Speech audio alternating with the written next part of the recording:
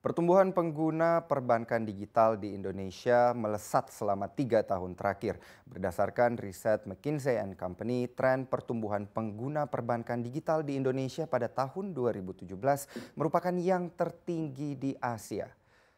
Partner McKinsey Company, Guillaume de Gantes, menyebut peningkatan pesat perbankan digital dalam negeri disebabkan oleh penggunaan smartphone dan internet banking yang juga mengalami pertumbuhan tertinggi di Asia.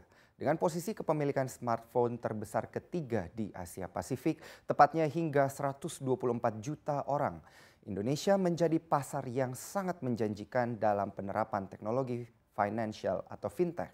Sedangkan untuk jumlah pengguna internet telah mencapai 133 juta orang. Setidaknya hingga 2017 pengguna perbankan digital Indonesia naik 1,7 kali dibandingkan dua, dua, tahun 2014. Selain itu, perilaku masyarakat Indonesia yang semakin terdigitalisasi atau digital savviness juga menjadi pemicu utama peningkatan jumlah jasa perbankan digital. Two big reasons. Uh, one is Indonesian consumers tend to be social consumers.